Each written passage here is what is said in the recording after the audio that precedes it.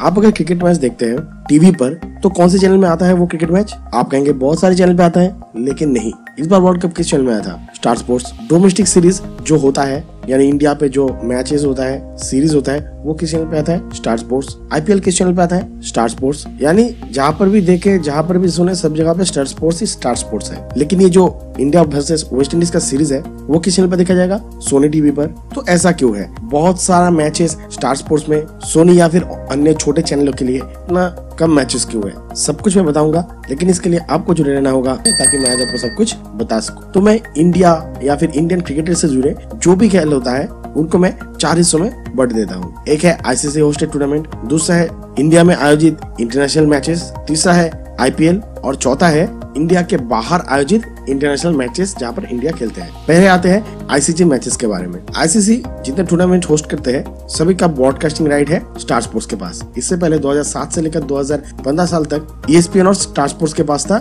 ये broadcasting right 2015 साल में फिर से रिन्यू करवाया गया एग्रीमेंट फिर से बिडिंग करवाया गया। तब स्टार स्पोर्ट्स को मिला ये मैच दिखाने के ब्रॉडकास्टिंग राइट 2015 साल से 2023 साल तक आईसीसी जितने भी टूर्नामेंट खिलाएँगे, सभी का ब्रॉडकास्टिंग राइट स्टार स्पोर्ट्स के पास ही होगा। जैसे कि cricket world cup T twenty world cup one day championship लेकिन यहाँ पर टेस्ट चैंपियनशिप नहीं होगा, क्योंकि टेस्ट चैंपियनशिप का उत्तरदायित्व डोमेस्टिक क्रिकेट बोर्ड के हाथों में होगा। तो स्टार स्पोर्ट्स कैसे बिलिंग जीता है? स्टार स्पोर्ट्स हमेशा बीट रेट बहुत ज़्यादा रख देते हैं। यहाँ पर जो छोटे मोटे चैनल्स है, वो उनसे कम्पीट नहीं कर पाते। स्टार स्पोर्ट्स के डायरेक्ट जो राइवल है, वो है सोनी जो कि स्टार स्पोर्ट्स से कोसों दूर है। पहले के दिनों में टेन स्पोर्ट्स राइवल था, अब वो भी चला गया है। इसके साथ साथ Zee Sports Discovery Sports Neo Sports ये छोटे मोटे चैनल है, जो कि बीडिंग में उतना रकम नहीं दे पाते, क्योंकि ब्रॉडकास्टिंग भी कमाना है और उनसे प्रॉफिट भी कमाना है। तो इसीलिए हर जगह, हर बार स्टार स्पोर्ट्स से जीतते हैं बिडिंग ऐसे ही इंडिया में आयोजित जो इंटरनेशनल मैचेस है, उनका भी राइट स्टार स्पोर्ट्स में लेकर रखा है, क्योंकि वो जानते हैं इंडियन एक टाइम भूखा रह सकता है, लेकिन क्रिकेट मैच के अलावा नहीं रह सकता है।